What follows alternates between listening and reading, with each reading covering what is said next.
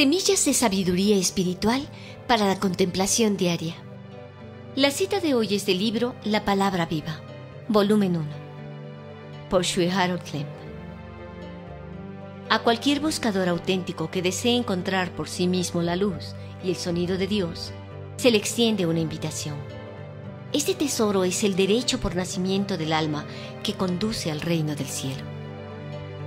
Que las bendiciones sean.